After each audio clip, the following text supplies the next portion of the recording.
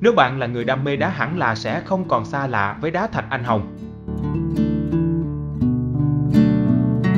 Hôm nay nhà sàn sẽ mang đến cho bạn dòng sản phẩm mới hoàn toàn gối đá thạch anh hồng thiên nhiên giúp kích thích hệ thống miễn dịch đối với các trường hợp đau nửa đầu, hoa mắt và còn hỗ trợ quá trình tuần hoàn máu giúp giảm căng thẳng, mệt mỏi và tác dụng kỳ diệu lên trái tim.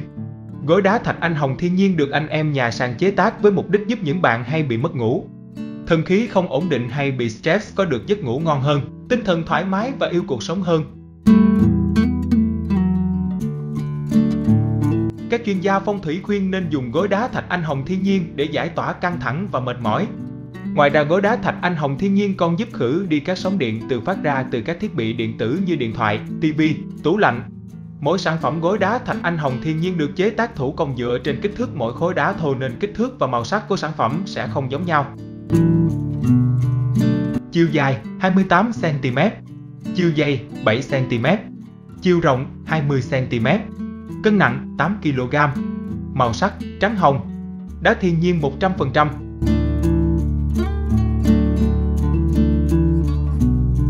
Đã bao lâu bạn chưa được ngủ một giấc ngủ ngon? Hãy để chiếc gối đá thạch anh hồng thiên nhiên G02 này giúp bạn.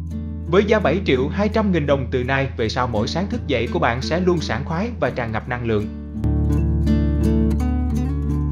Sản phẩm gối đá thạch anh hồng thiên nhiên G02 đã có mặt tại nhà sàn. Các bạn hãy đến và trải nghiệm nhé! Khi mua gối đá thạch anh hồng thiên nhiên, bạn sẽ được tặng một quả cầu bi đá thạch anh 4cm siêu dễ thương. Hãy comment số điện thoại phía dưới và gọi ngay cho anh em nhà sàn. Nếu bạn yêu thích sản phẩm đá phong thủy tự nhiên của Việt Nam, hãy đăng ký kênh anh em nhà sàn. Chúc bạn một ngày thật nhiều năng lượng.